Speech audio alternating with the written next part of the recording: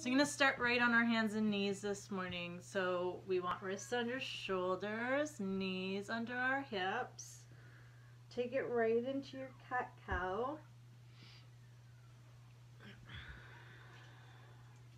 Tuck the tailbone, tuck the chin.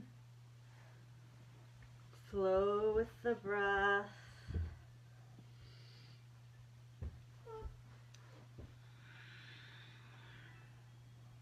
And then when you're ready, come back to neutral spine. And all we're gonna do is raise the right leg at the at the hip there so the knees bent. And then we're gonna start to rotate that knee. So draw some circles with the kneecap. We're rotating through the hip socket.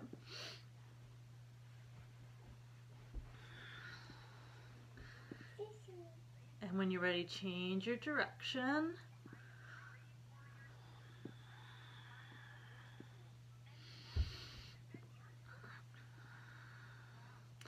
And then rest. So you can do the same thing on the other side. Just rotating through the hip, making some circles with the kneecap, pressing through the other knee to stabilize you in the top of the foot. Switch directions when you're ready.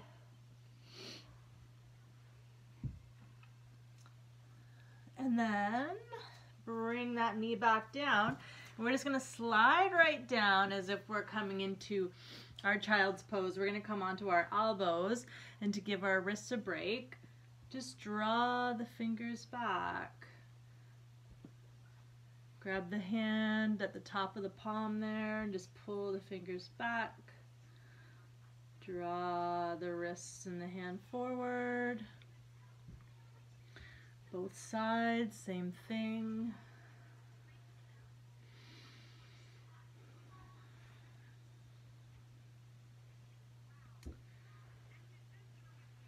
And then rotate through the wrists.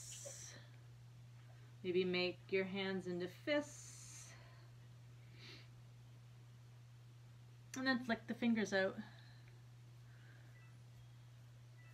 Good, and then we'll come back to our table now that we've stretched through the wrists a little bit. We'll come back to our table. so we've loosened up that hip, hip socket. So now what we're gonna do is we're gonna lift that right leg again and we're gonna bring it all the way around so that our right foot comes up to be alongside the hands and the hands are in the middle on the inside of that foot. With the back leg here, I'm gonna curl the toes and I'm gonna pop up. So I'm coming into lizard. So I'm up on my toes, the knee is off. If you, this isn't in your practice, just let the knee come back down. Just drop it back down and keep the toes curled. So both options are just fine. So you can pop up the knee if you want. I'm gonna take my gaze forward. Breathe into the hips. And then I'm gonna drop the knee down if it's not already down. I'm gonna take the right hand and I'm gonna come into my twist. So I'm gonna send the right arm up to the ceiling. Big twist. I'm gonna bring that right hand back inside of the right foot. And now on the other side, what I'm gonna do is I'm gonna send my left hand to my left hip and I'm just gonna peel the hip open so that I'm opening up through the chest. And when I do the other side, you'll get a better visual. But just a little open twist there. Then I return the hand back down. We're gonna slide, I'm gonna pop back up actually on my left leg first, and I'm gonna slide the right leg back to join it coming into our plank pose. Take a few breaths here. And then when you're ready, drop the knees down, drop the belly down. Palms come to the earth, chin comes to the earth, and then baby cobra. Little back bend. And release it back down. I'm going to return to all fours. I'm going to scooch around so you have a better view of the other side. So I'm coming back to my table pose. We're going to do the same thing on this side. So I'm going to rotate that left leg forward.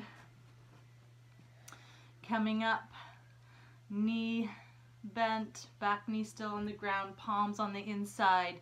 Now if you're ready, you can scooch that right leg back, come up onto the toes. Lizard pose, look forward. Or you can keep that back knee bent, keep the toes curled. And then when you're ready, coming into our twist. So left, sorry, right hand plants down, left arm comes up to the ceiling. And remembering two options, knee down or knee up.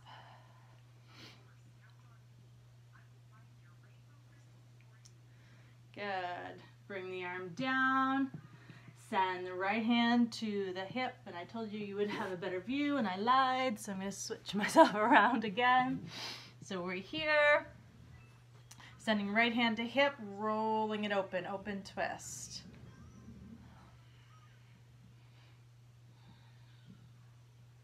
Remember, you can always have the knee down as well. So I've got this arm pressing against the leg, and I'm just holding onto the hip and rolling myself open. Good. Then release back down. Palms back to the mat. Coming up on my right leg, sliding back the left. We return to our plank.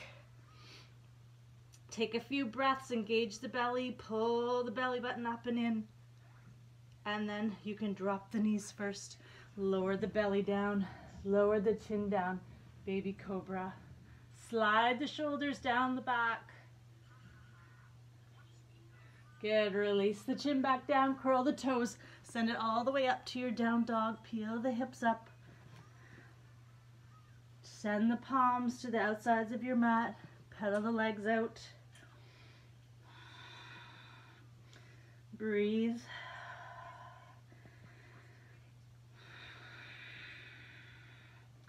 And then bring it into stillness, so guide the heels down. Press through the heels, press through the hands. And then when you're ready, drop the knees down. Slide the hips back.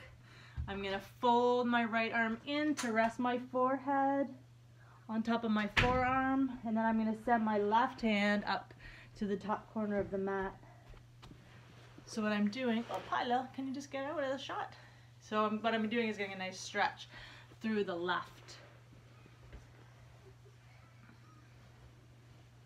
left rotator cuff, I should say. Slide that back. I come and rest now. You can sit there, yep. I come and rest on the left forearm and slide the right arm to the top. Whoopsie. And that ends today's yoga session. Say bye, guys. Bye.